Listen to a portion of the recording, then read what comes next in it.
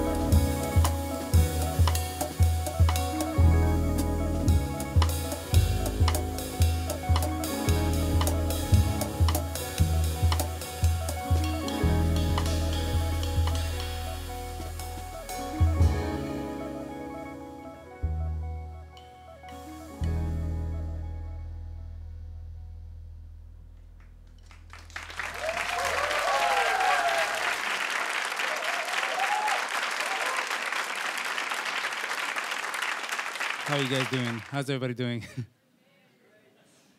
Having a good time out there? We're um, playing uh, some original music and some covers as well. The first song you heard was a song of mine called Verona, and uh, it's uh, you can find it on our most recent record, Homes. Um, and now we're going to continue with uh, another song of mine uh, that's going to feature uh, Kush. This one is called Keedee.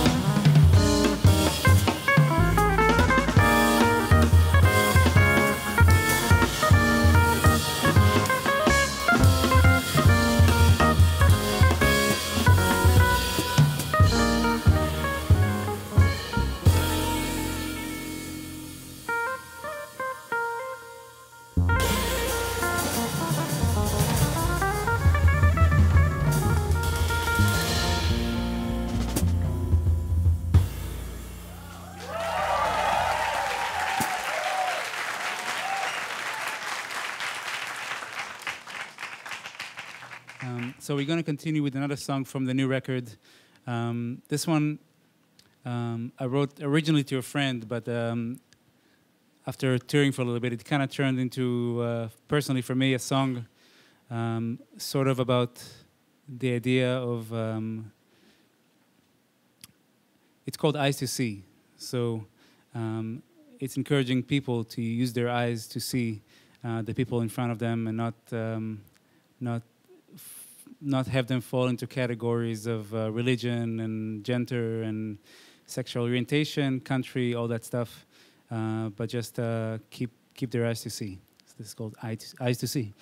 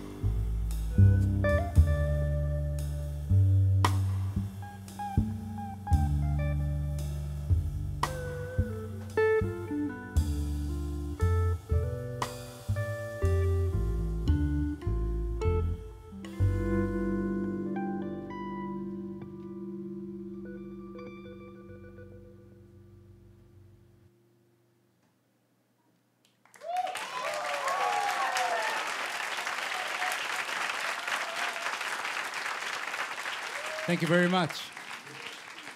Uh, we have one more song for you uh, this uh, evening. Uh, once again, before we play that song, I would like to introduce, uh, please uh, give some love to Joe Martin on the bass. There it is.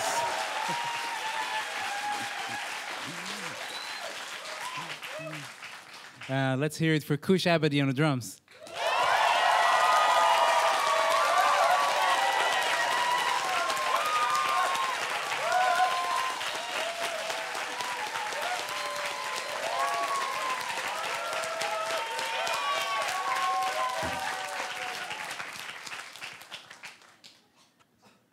My I'm on the guitar.